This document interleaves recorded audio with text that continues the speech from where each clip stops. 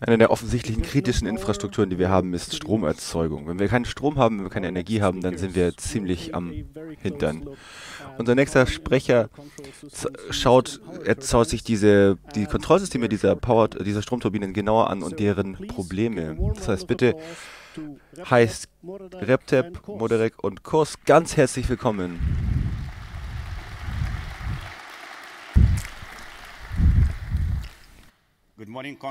Guten Morgen, Kongress. Danke, dass ihr so früh aufwacht am Morgen für uns. Wir sprechen heute über die Sicherheit von äh, Stromkraftwerken. Und zwar genauer gesagt über Automatisierungssysteme in diesen Stromkraftwerken. Und dann könnte er denken, ah, das ist ein weiterer Talk über, wie unsicher diese ganzen Industriestandards sind und so weiter. Und ja, das ist es eigentlich auch. Und jahrelang haben wir mit meinen Kollegen über diese industrielle Sicher äh, Sicherheit in der Industrie gesprochen. Und wir sehen, dass Sachen besser werden, aber, aber das Tempo ist etwas anders als in der privaten Wirtschaft. Und wir werden heute darüber sprechen, wie diese äh, Stromkraftwerke gebaut werden, was ihre Eigenschaften sind und so weiter. Und zuerst wir sollen uns mal vorstellen. Wir sind eine Sicherheitsconsultant-Firma und wir haben viele industrielle Dinge, SCADAs, DCS, DCS und so weiter kontrolliert. Wir haben das also sehr lang gemacht. Und wir haben das so lange gemacht, dass wir eine riesige Karte an, an Kon äh, Kontakten haben. Und wir, haben, wir machen das nicht nur für, für äh, Kraftwerke und so weiter, sondern wir sprechen auch mit anderen Einheiten und versuchen Sicherheitslücken zu schließen. Wir arbeiten mit Kaspersky und äh, betreiben dort Forschung, und zwar nicht nur von mir, sondern auch von, von Evgenia und Sergei. Yep. Uh, was man definitiv feststellen ist, ist, dass alles, was wir hier diskutieren, ist, dass es die entsprechenden Hersteller darüber bereits informiert worden sind, und zwar vor langer Zeit.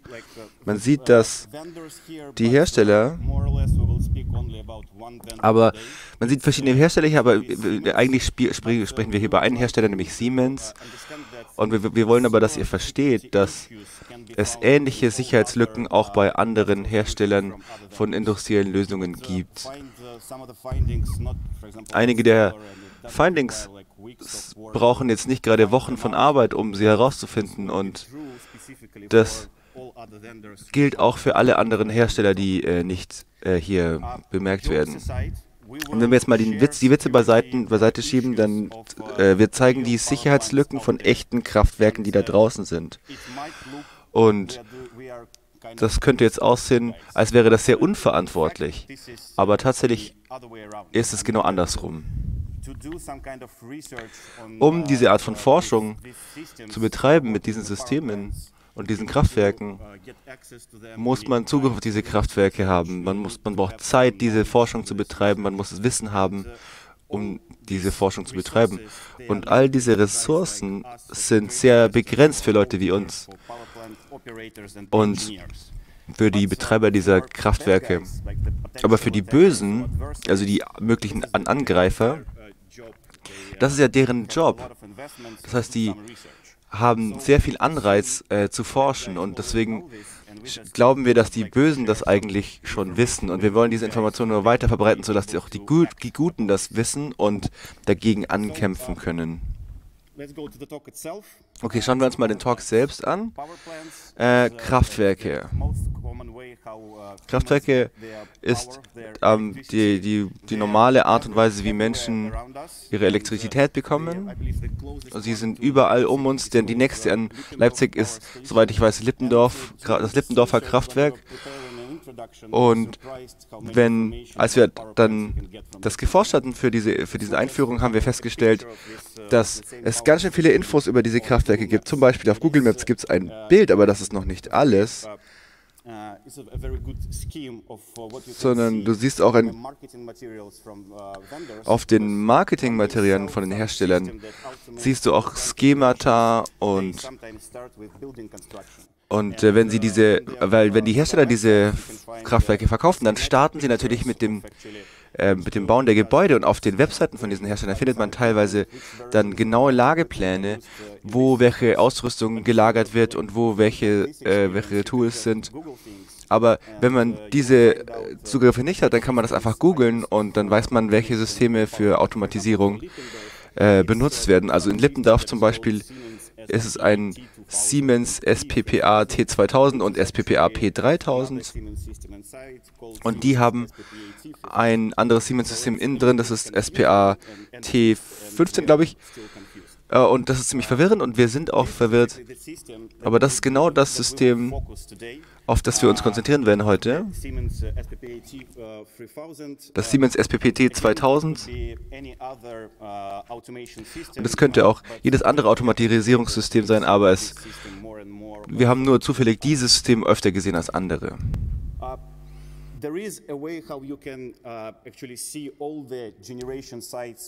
Man kann auf der ganzen Welt auf dieser Karte sehen, welche ähm, welche Kraftwerke auf der Welt existieren, dank der Carbon-Überwachungsfirmen äh, und Communities. Also das ist nicht nur Kraftwerke, sondern auch Wind- und Wellenkraftwerke und so weiter. Die sind mit verschiedenen Farben hier markiert. Zum Beispiel gibt es hier Kohle und Gas. Die der, das Thema ist richtig riesig. Aber worauf wir uns heute konzentrieren werden in diesem Talk, ist vor allem die Kraftwerke, die mit Kohle und Gas arbeiten. Das ist wichtig zu sagen. Das Herz jedes Kraftwerks ist eine Turbine. Wir haben keine, kein Bild einer Turbine hier auf, dem, äh, auf den Folien, aber du hast es schon mal auf einem Flugzeug gesehen und ähnlich sieht es aus, auch von der Größe und wie sie funktionieren in Kraftwerken. Und an verschiedenen Herstellern, auf den Webseiten der verschiedenen Hersteller kann man viele Informationen über diese Turbinen finden und wo sie eingesetzt werden. Und zum Beispiel ist das die Karte der Turbinen von Siemens. Und nicht alle Turbinen werden in Kraftwerken benutzt. Es gibt auch verschiedene andere Einsatzbereiche, zum Beispiel chemische oder Gasverarbeitung. Aber wenn man diese Informationen mit den Informationen von der vorigen Folie mit, mit, mit verbindet, dann weiß man ziemlich genau, welches Kraftwerk, welches Turbine benutzt wird. Und man kann dann sogar herausfinden, welche Versionen von diesen Systemen hier benutzt werden. Das ist wichtig, weil wegen der, wegen der Verwundbarkeiten, die wir heute äh, besprechen werden. Bevor wir also jetzt anfangen, darüber zu sprechen, was ist die Automatisierung, sollten wir darüber wie funktioniert ein Kraftwerk.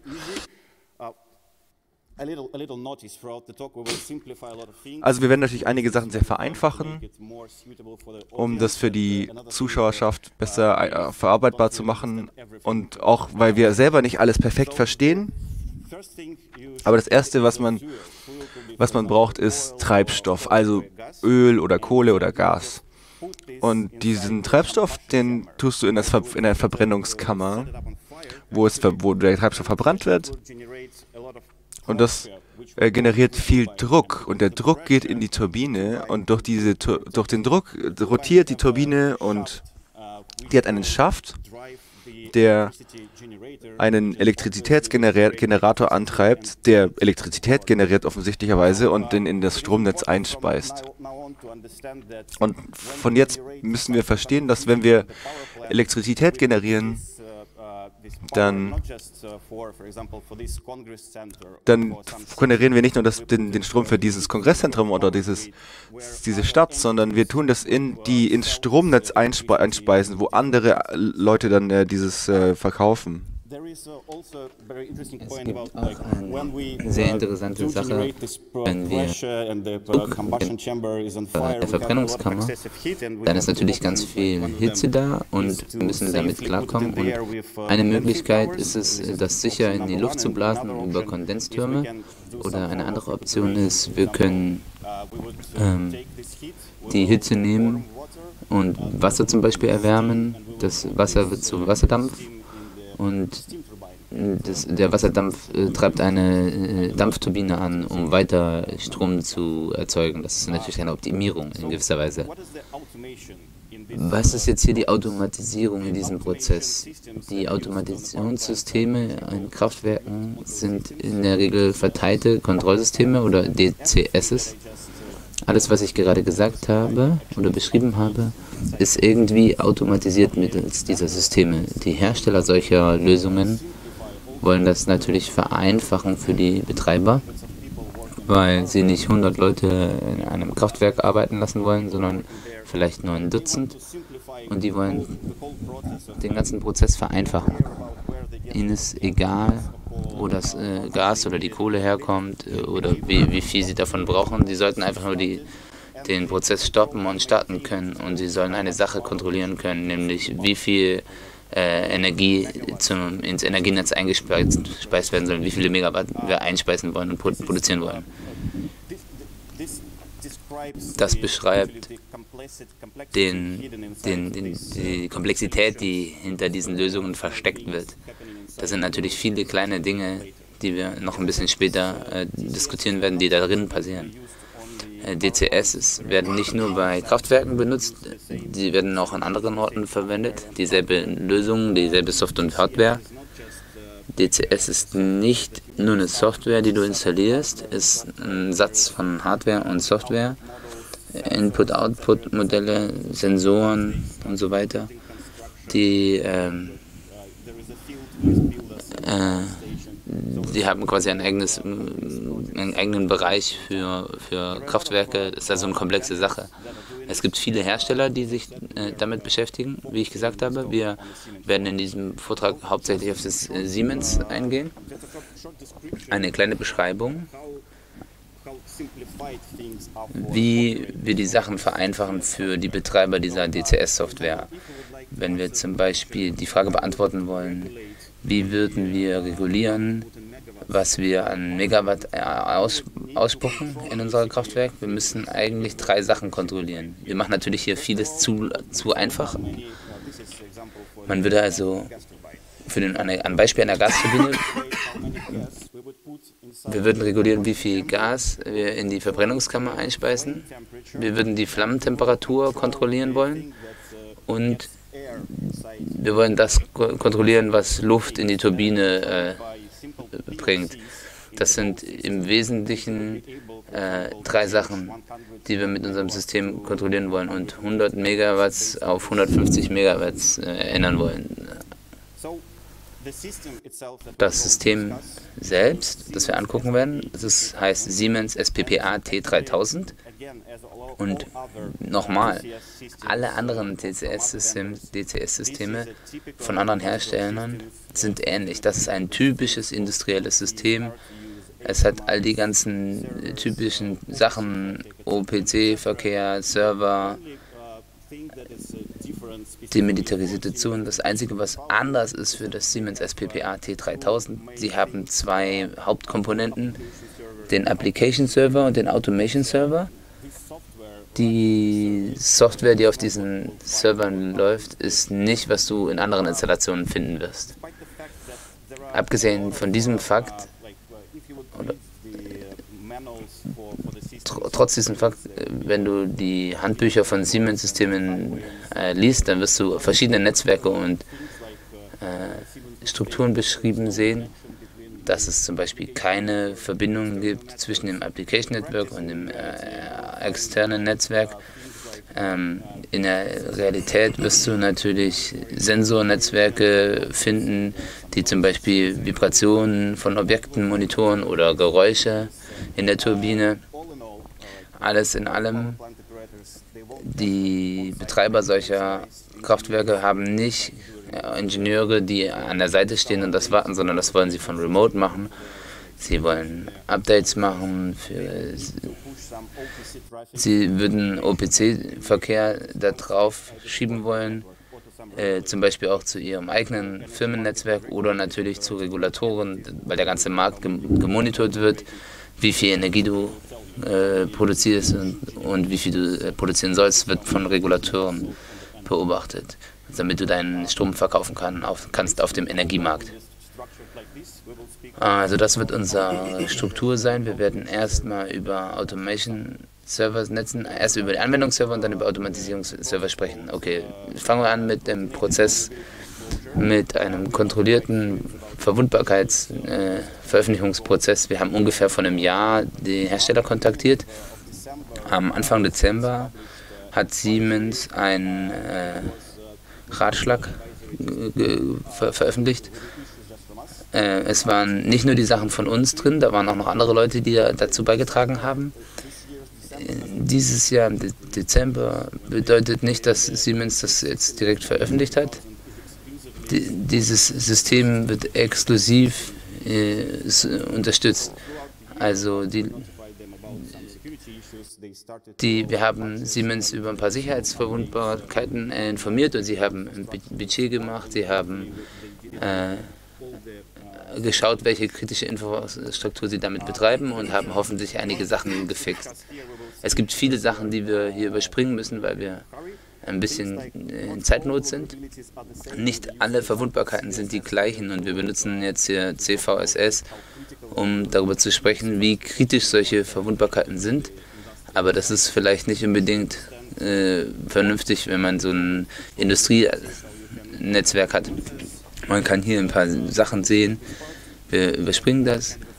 Es, ist ein, es gibt ein Angriffsmodell in einem White Paper, was wir später äh, im Januar irgendwie hoffentlich veröffentlichen werden.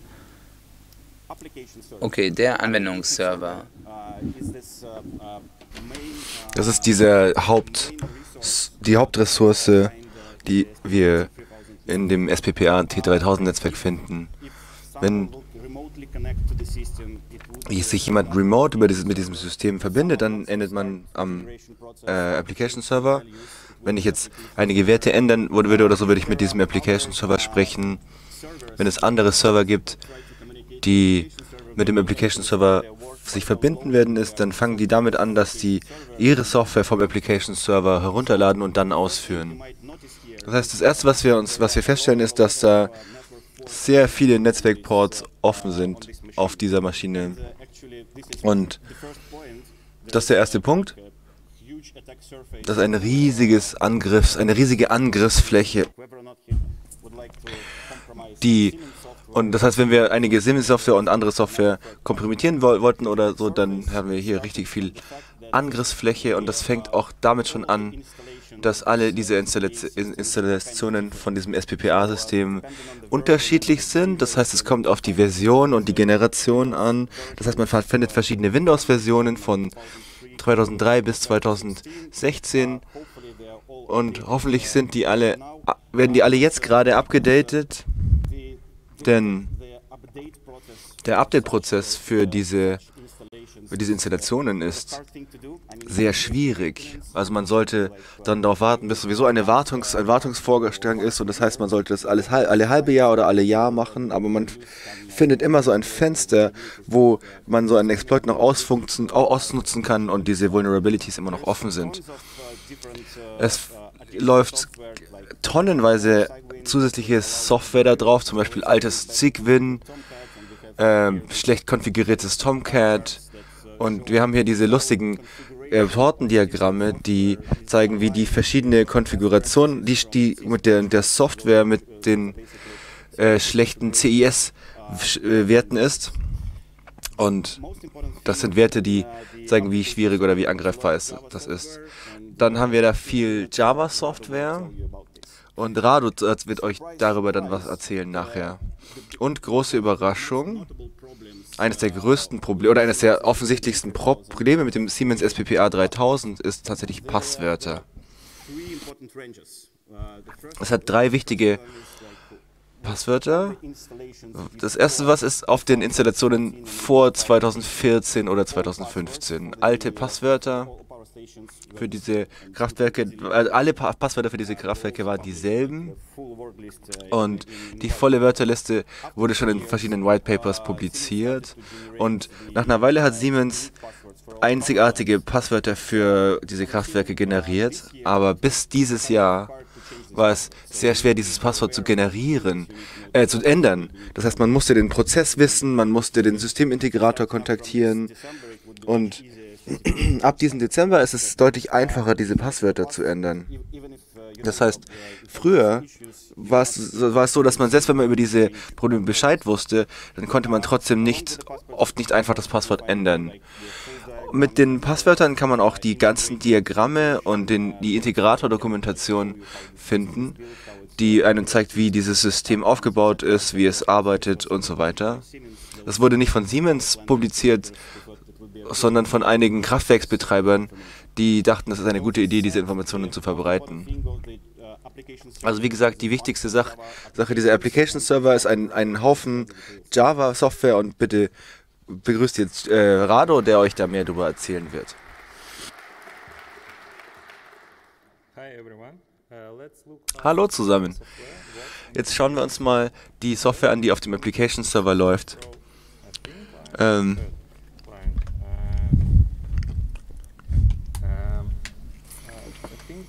Das erste ist, dass wir einen Thin Client, der über HTTPS mit Browsern kommuniziert mit äh, und mit dem Server. Das heißt, der kann außerhalb des äh, Application Networks sein und da kann dann eine Firewall dazwischen sein. Es gibt auch die Technik des Fat Client, ähm, oh, der dann direkt mit der RMI Registry kommuniziert um Services zu finden und dann mit diesen Services zu sprechen direkt. Und deswegen sollte ein Fat-Client in das Application Network äh, äh, gehören. Die, ähm, der Aufbau, die Architektur dieses Systems wurde von SPPA zur Verfügung gestellt. Und hier haben wir die Items, die äh, hier kommen Sachen vom Thin Client und die werden dann weitergeleitet an die RMI Services.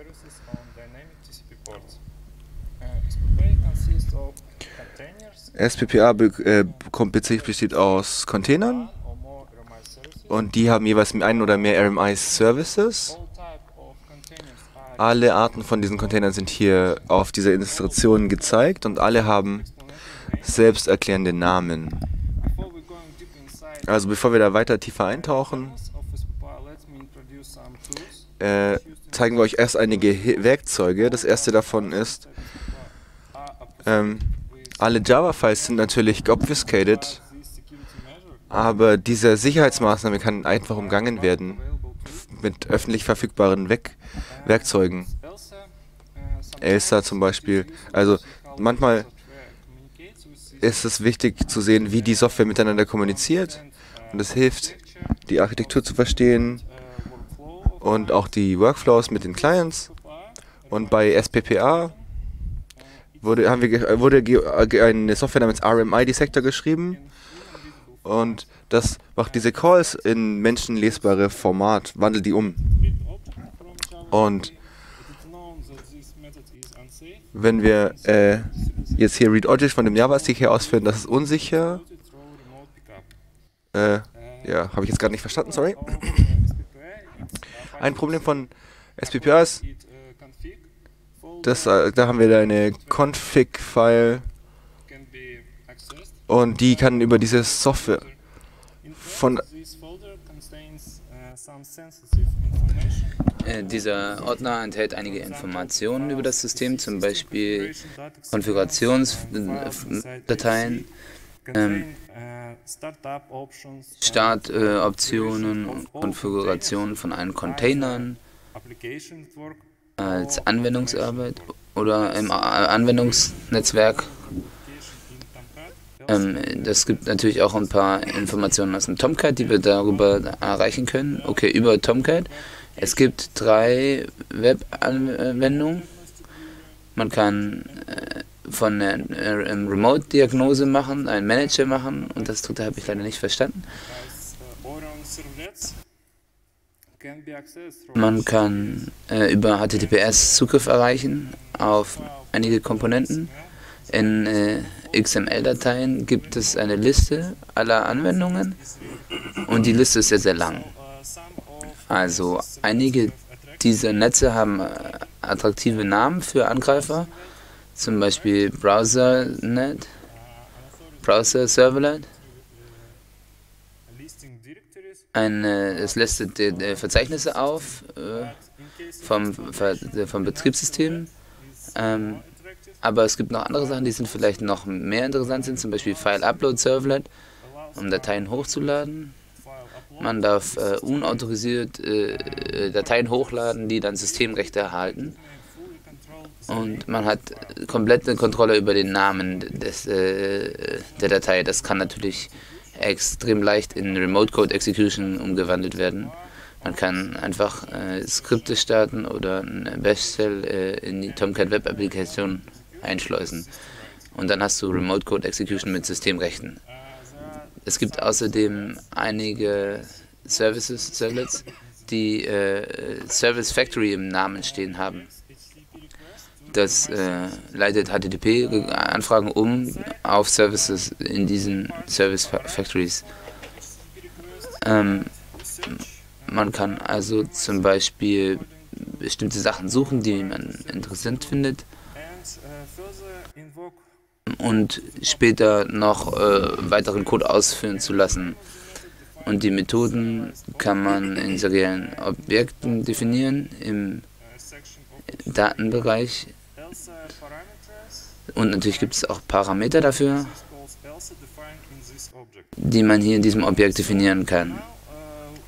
Jetzt haben wir hier eine Situation, wo schlanker und fetter Client Remote Services äh, äh, erreichen können, aber der Fat Client kann sogar direkt mit der Registry kommunizieren. Wenn also ein äh, Anwendungsserver wichtige JavaScript-Updates verpasst hat, dann hat es vermutlich sehr große Verwundbarkeiten und wir können dann einfach diese Sachen, diese Schwachstellen ausnutzen und Code Execution mit Systemrechten erlangen wieder. Die nächste Aufgabe wird sein, alle RMA-Services auflisten zu lassen. Als ersten Schritt werden wir einfach die Registry an und bekommen eine große Liste von Services, von Diensten. Äh, fast alle sind eine bestimmte Art. Ungefähr alle haben ein, allgemeines äh, Kontroll, äh, eine allgemeine Kontrollschnittstelle. Äh, um weiter da genauer hinzuschauen, haben wir uns mal einen Lookup-Service angeschaut. Äh, dieser Service sieht sehr aus wie eine Sammlung von anderen RMI-Services. Äh, wir können die öffentliche Methode List benutzen, um alle verfügbaren Services aufzulisten und den Namen und Public äh, äh Method Lookup können wir die äh, Attribute bekommen. RMI Services in diesem Schritt haben alle das Service Factory als Schnittstelle implementiert. Wir können also davon ausgehen, dass diese Sammlung eine weitere Sammlung von RMI-Services ist, ist, aber es hat keine öffentliche Schnittstelle, um den Namen des Services zu bekommen. Wir werden also ein bisschen die Klasse dekompilieren und ein paar Factory-Methoden finden, die RME-Services erstellen. Zum Beispiel über Skripte. Darin können wir dann vielleicht äh, Create Services finden. Mit der öffentlichen Methode getService in String als Name können wir dann die Referenz bekommen für den nächsten RME-Service. Und im letzten Schritt kriegen wir die Referenz zu RMI-Services, die echte Jobs ausführen. Aber dieser RMI-Service hat natürlich wieder viele öffentliche Methoden für autorisierte Benutzer. Um es zusammenzufassen, äh, in der, in der Registry können wir über jedes Level viele RMI-Services finden und die, die letzte enthält auch viele öffentliche Funktionen. Also die Angriffsoberfläche ist wirklich verdammt groß in diesem System. Wenn wir jetzt alle RMI-Services auflisten, die verfügbar sind, dann sind die nächsten Fragen gibt es da irgendwie Authentikation, Authenti Authentifizierung für Client Requests? Um zu sehen, wie, wie Client-Anfragen an äh, Service Factories prozessiert werden?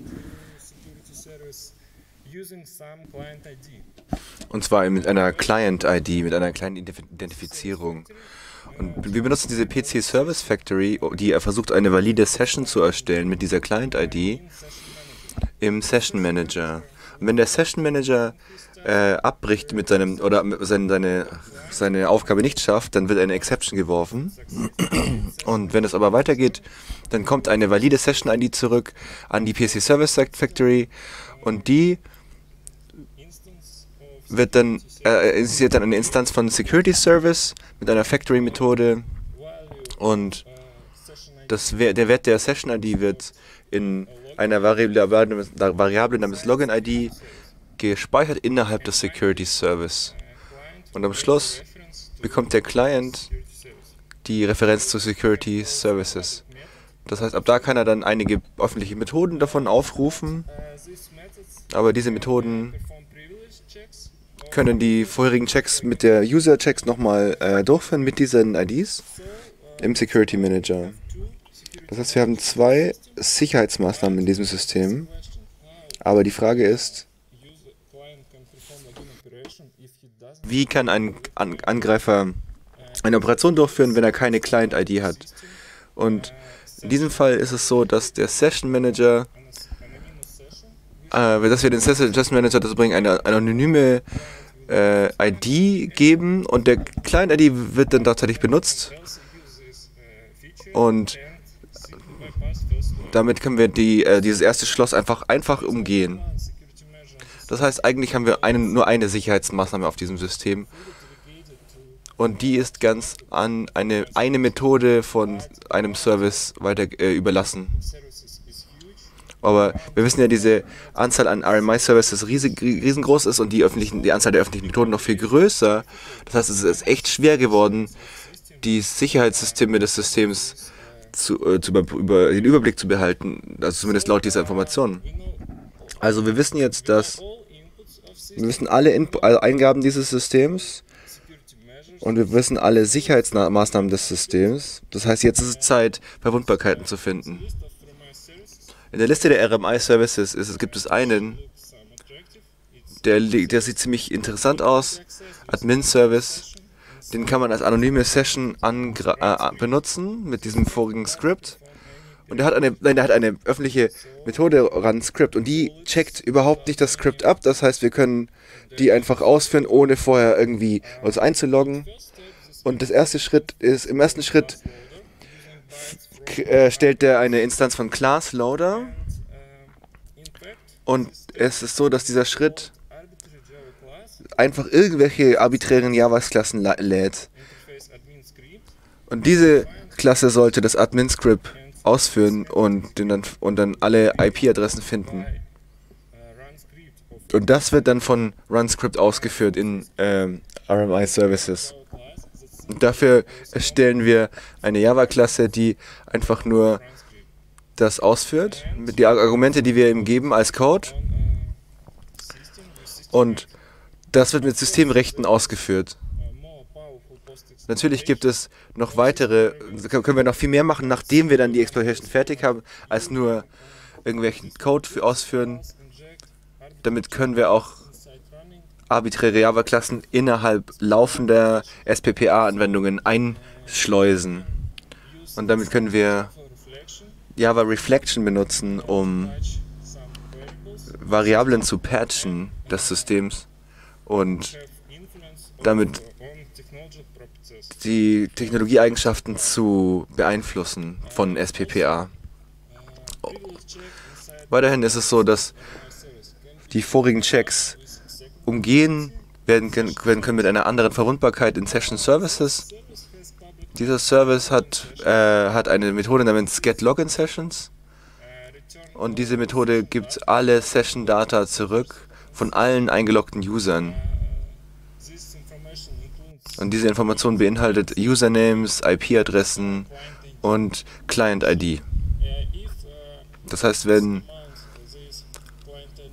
diese Client-ID von einem User, der hat, der Admin-Privilegien hat, kann ein Angreifer diese Client-ID benutzen, um eine Referenz auf Security Service zu benutzen. Und diese Referenz wird mit einer privilegierten Session geliefert. Weiterhin äh, können die Attack äh, Angreifer dann öffentliche Methoden von Security Service an aufrufen, um, nämlich Get All Users und kriegen dann alle Privatinformationen über alle User des Systems. Und Passwort-Hashes sind da auch mit in diesen privaten Informationen enthalten. Also nur um das zusammenzufassen, wir haben zwei, also wir haben beide äh, Verwundbarkeiten, die uns erlauben, über HTTPS Daten abzugreifen und durch die Firewall. Und beide Sicherheitsmaßnahmen können umgehen werden. Alle Kommunikation mit den RMI-Services ist verschlüsselt generell. Also Benutzernamen und Passwort-Hashes werden äh, ist nicht verschlüsselt. Das heißt, die Passwörter werden Passwort-Hashes werden in Klartext übertragen und die Benutzernamen. Das ist sehr kritisch für den Fat Client Case, also die Fat Client Fall, der dicke Client. Und jetzt Passwort-Hashes heißt, es gibt auch keine Session-Schutzmechanismen. Das heißt, wenn ein Angreifer einen Man-in-the-Middle-Angriff gegen einen Benutzer ausführen muss und dann damit Traffic abrufen kann, dann er hat dann zwischen dem von dem User Application Server dann kann er einen eine validen Benutzernamen und Passwort Hash von diesem System aufbauen und das einfach weiter benutzen und damit Operationen auf dem System durchzuführen. Und was er auch machen kann ist, er kann das Passwort von diesem Benutzer ändern. Ich spreche viel über Benutzernamen und Passwort-Hashes. Das heißt, es ist mal Zeit, dass wir herausfinden, wie das System diese, diese, diese, diese beiden organisiert. Hi, ich würde dann mit der Diskussion über den Anwendungsserver weitermachen. Äh, man kann hier auf der Folie sehen, oder man konnte vorher sehen, wie Remote Execution funktioniert hat auf den vorherigen Folien.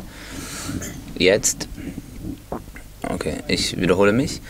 Man konnte hier sehen, wie wir Remote Code Execution Ausführung von Code äh, erreicht haben. Und jetzt äh, rede ich darüber, wie wir das lokal machen können. Nachdem das System gestartet ist, äh, wurde, fängt es an, zwei äh, Dateien zu lesen, user1.xml und pdata1.exm und checkt dann die Passwortsituation. User 1, die User 1 Datei ist eine einfache XML-Datei, die pdata-Datei äh, hat eine komplizierte Struktur. Okay. Es gibt dann also diese spezielle XML-Datei, die Felder der XML-Datei sind auf der, auf der Slide, die ihr sehen könnt. Die werden benutzt, um Hash-Wert zu berechnen und den Passwort, das Passwort zu überprüfen während der Anwendung. Äh, außer auf der unteren Seite, Seite konnte man sehen den Passwortalgorithmus ähm, im Pseudocode. Es ist ein typisches äh, Schema Unix-Machine. Es hat eine Nummer von Durchläufen, äh, äh, Quellen und äh, Senken sind hinzugefügt worden. Es ist aber dasselbe für alle Benutzer. Okay, das Tool für Passwörter herauszubekommen ist äh, und ihren Parameter herauszubekommen aus dem pdata one file äh, wurde entwickelt. Und auf der Folie kannst du sehen, was herauskommt. Das Tool kann benutzt werden, um die Passwörter zu überprüfen äh, zum Beispiel mit Dictionary-Angriffen. Und das äh, Tool könnt ihr auf dem Link äh, dort unten finden. Okay, es, äh, und unterm Strich haben wir den Applikationsserver äh, analysiert. Wir haben gesehen, dass es eine riesengroße Angriffsoberfläche gibt und dass äh, unter anderem dabei sind ganz viele verschiedene Komponenten gemeint sind. Dann haben wir herausgefunden, dass man von der Ferne äh, Zugriff erreichen kann. Ob oder ob nicht SPP Remote Connection angeboten hat, das ist gar nicht so wichtig, weil jemand anders kann vielleicht äh, Konfiguration falsch gemacht haben.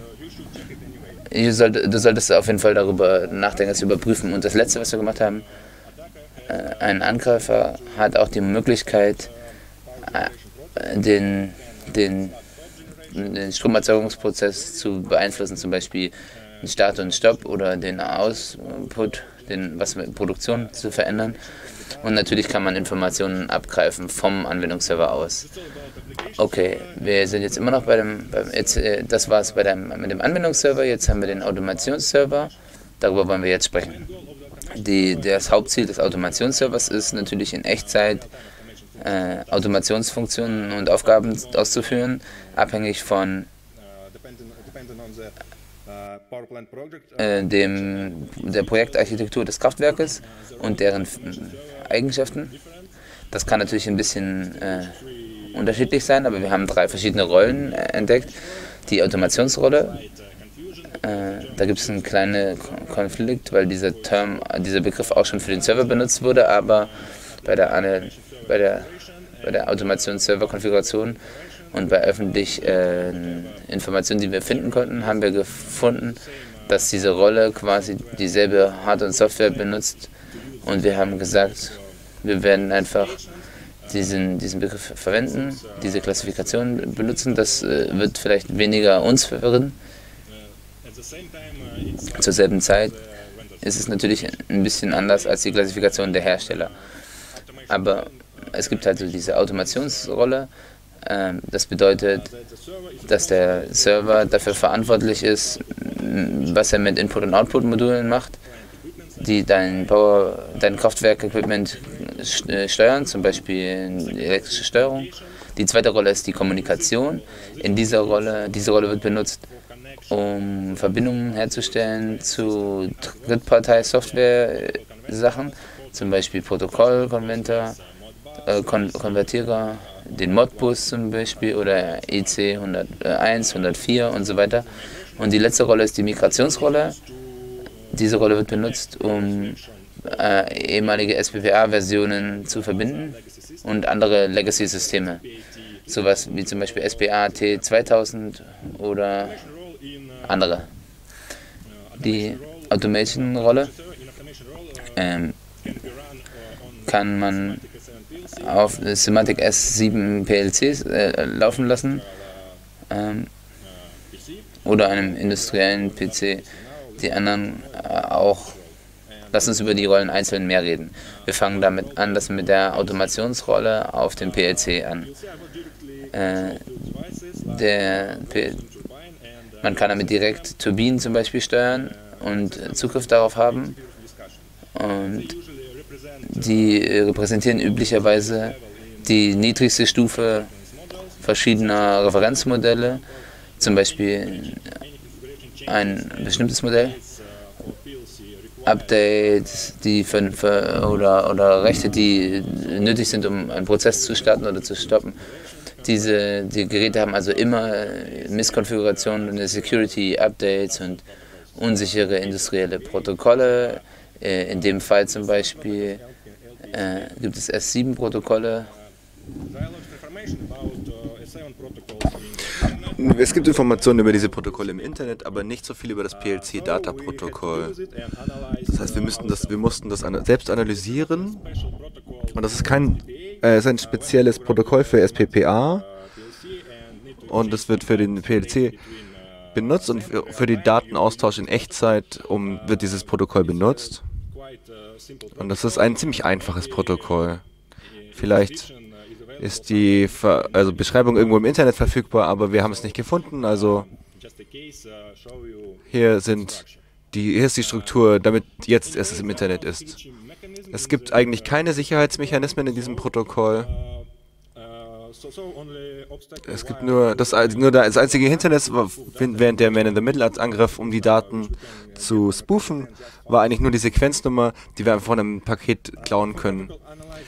Um das Protokoll zu analysen, zu analysieren, haben wir einen Dissector programmiert, der auf dem Link unten äh, verfügbar ist.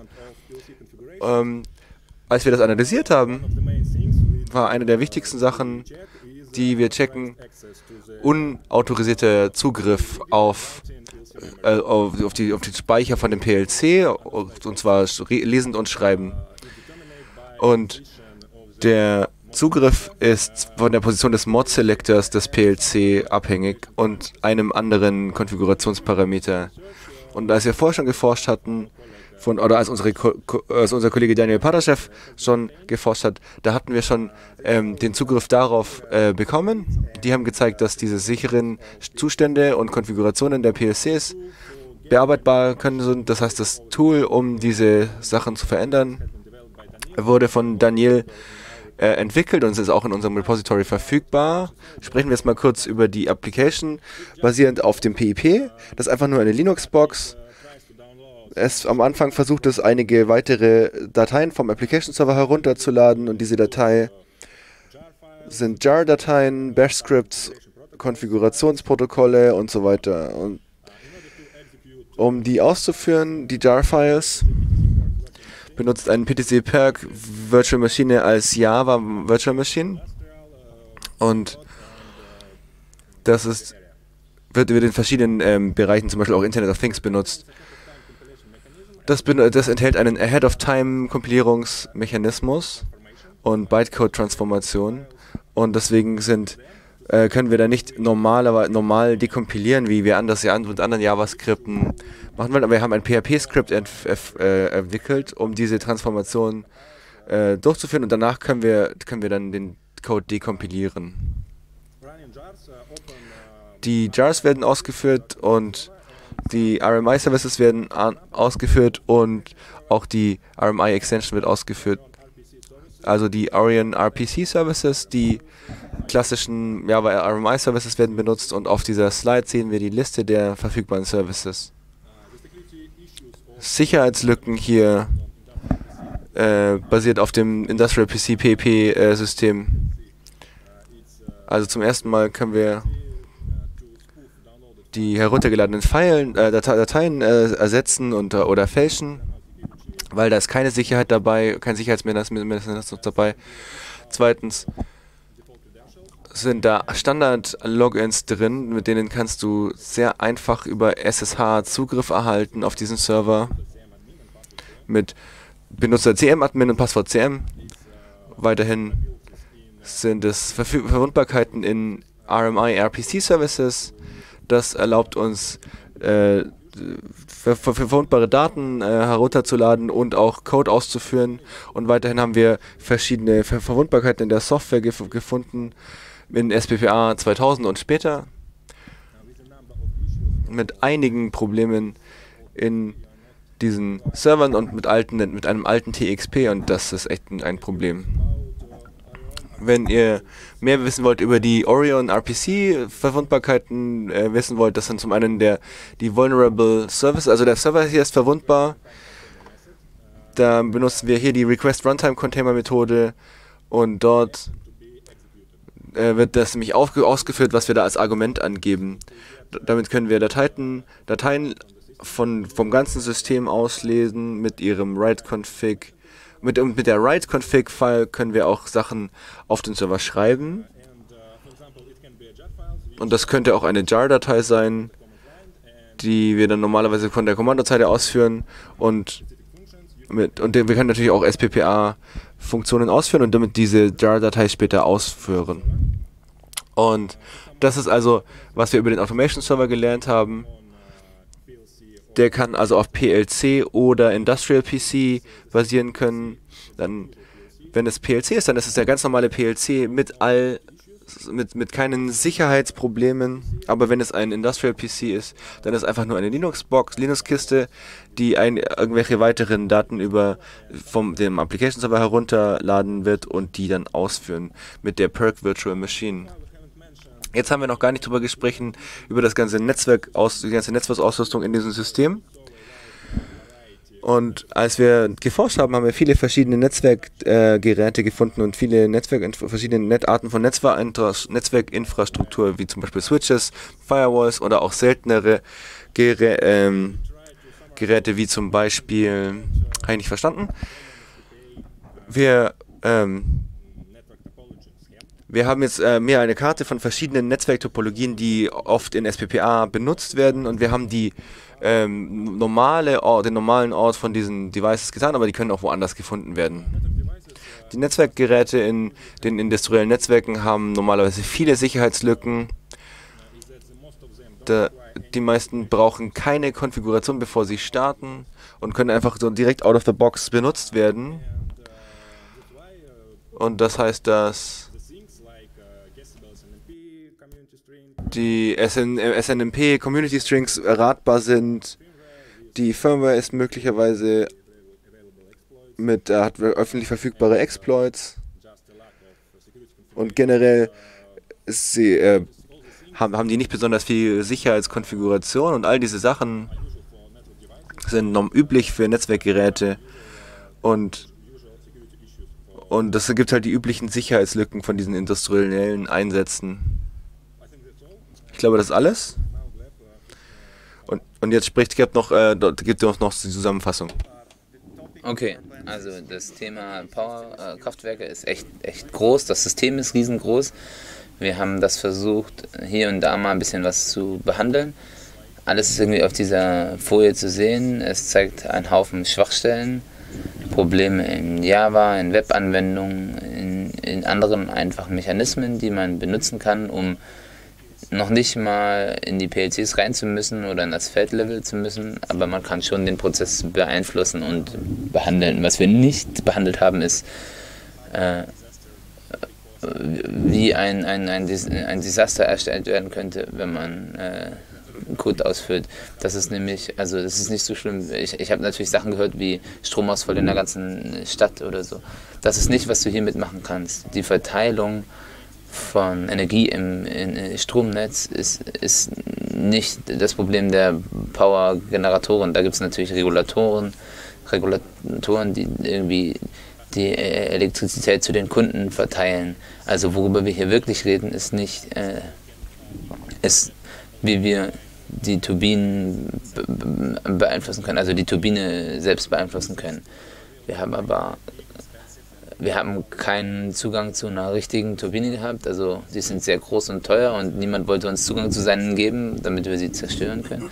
Es ist also sowas wie ein äh, gebildeter äh, Vermutung, eine gebildete Vermutung. Äh, diese Turbine ist ein riesengroßes mechanisches Monster, was sich äh, selber zersetzt bei der Arbeit. Und wenn man das in unterschiedliche Modi setzt, dann machen wir es im Zweifel schneller kaputt äh, oder es, äh, nutzen es ab. Also du hast da in der Regel keine Ersatzturbine. Also der, der, man kann schon einen Einfluss haben, aber es ist nicht ein, ein riesengroßer Einfluss. Was wir versucht haben zu machen mit unserer Forschung ist, wir wollten verstehen, wie wir den Kraftwerkbetreibern, die es äh, gibt, helfen können, Fehler zu finden, die zu analysieren, die Infrastruktur zu analysieren. Und all diese Installationen sind ziemlich ähnlich und wir können ein einfaches äh, Mach es selbst Test Assessment schreiben und vielleicht gibt es ja Ingenieure an den Kraftwerken, die das dann selber testen können. Ein Satz von Schritten auf zwei oder drei Seiten. Du kannst zum Applikationsnetzwerk laufen, äh, verbinden, den Test laufen lassen, auf dem Automationsserver äh, verbinden und die Tests laufen lassen und dann kannst du die Sachen selber machen und dann musst du nicht äh, äh teure Consultants äh, äh, mieten, die das machen, sondern du solltest in der Lage sein, das selber für dich als Kraftwerkbetreiber umzusetzen. Aber natürlich, um die Situation zusammenzufassen, um, rund um DCSs, ähm, wenn man andere industrielle Lösungen gesehen hat, SCADAs, irgendwie alles, was man so, so, sehen kann, dann wird man viele Sachen sehen, die ähnlich sind.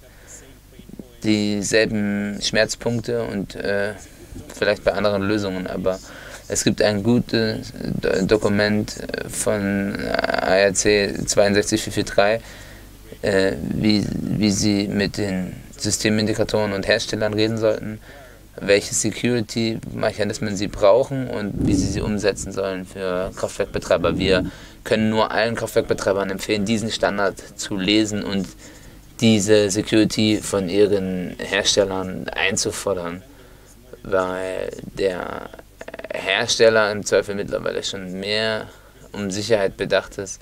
Also wenn man nicht weiß, was man machen soll, dann ist das das Dokument, was beschreibt, wer mit wem über was wie reden sollte. Und natürlich kannst du diese Slides und das White Paper lesen. Das kommt im Januar raus. Ähm, ruf Siemens an, mach deine Systeme aktuell, ändere dein Passwort. Das ist, äh, sind einfache Schritte, um den Angriffsvektor oder deine Angriffsoberfläche zu verkleinern. Und eine andere Sache ist Modern Windows Boxes. Es ist also einfach, damit Monitoring aufzusetzen und du solltest mit deinem Sicherheitszentrum reden und dann sollten die Logs angucken können. Die meisten Sachen kommen von Java-Applikationen und man wird es nicht möglich sein, das mit äh, irgendwie Logs komplett zu bekommen, aber man könnte vielleicht ein paar äh, Erkundungsmechanismen im Netzwerk haben. Und nochmal, um zusammenzufassen, das ist kein Problem von einem DCS von Siemens. Das ist überall in anderen Herstellern genauso, auch Hersteller, die wir jetzt hier nicht genannt haben. Wir werden ein paar Sachen veröffentlichen heute und morgen und im Januar. Im Wesentlichen das große White Paper über alles, was wir herausgefunden haben mit Wort Wortlisten, mit äh, selber mach Sicherheitsguideline, äh, ähm, welche, welche Tools und Werkzeuge wir benutzt haben für unsere äh, Forschung oder wenn du selber die Protokolle angucken möchtest. Wir haben sehr mit Siemens zusammengearbeitet. Wir wollen da Danke sagen. Die haben einen großartigen Job gemacht mit der Kommunikation mit uns und dem Team, was deren äh, Produkte entwickelt. Die großen Sachen von den Antworten der Hersteller ist, wenn du ein Kraftwerkbetreiber bist, dann bist du echt genötigt, jetzt schnell eine neue Version zu aktualisieren. Siemens versucht, die Leute zu bilden und äh, Bewusstsein dafür zu schaffen bei unseren Kunden, dass sie die Passwörter ändern sollten, dass es kritische Verwundbarkeiten gibt und dass man da aktiv werden muss. Und nicht alle Probleme sind äh, von Siemens selbst äh, behandelbar, aber der Betreiber des Kraftwerks muss da manche Sachen selber in die Hand nehmen. Okay, das ist es. Vielen lieben Dank, äh, dass wir hier sein durften. Wenn ihr Fragen habt, dann äh, ist jetzt eure Gelegenheit hier.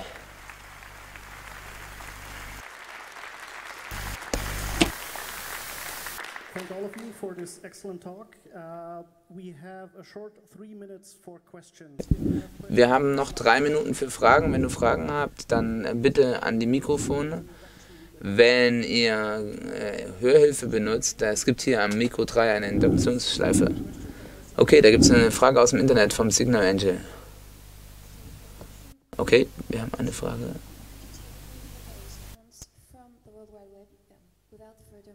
Könntest du äh, manche dieser Sicherheitslücken aus dem weltweiten Internet ausführen, ohne...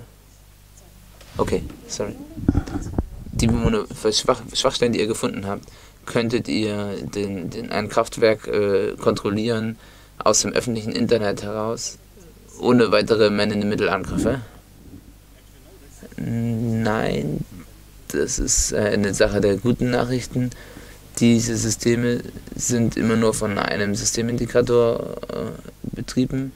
Die sind also mehr oder weniger vom externen Netz geschützt. Also natürlich gibt es irgendwie Schnittstellen, aber das ist nicht so einfach. Äh, wir reden hier dann über äh, nicht das Internet, sondern über äh, Netzwerke der, der Firmen. Nächste Frage von Mikro 3. Ja, hallo. Ich habe auch ein Kraftwerk auf meinem Planet und es ist irgendwie vielleicht schlecht für die Atmosphäre. Meine Frage ist, könnten wir zurückgehen, wo, wo der rote Knopf ist und, und das äh, Kraftwerk ausschalten könnte? Ich frage nur für einen Freund.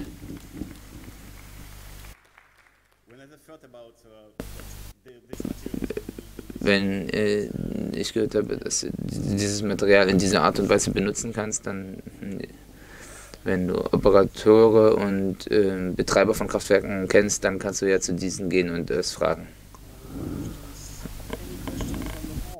Gibt es noch weitere Fragen? Okay, das war's dann wohl. Vielen Dank für den äh, Vortrag und helft uns, die Speaker mit einem herzlichen Applaus zu verabschieden.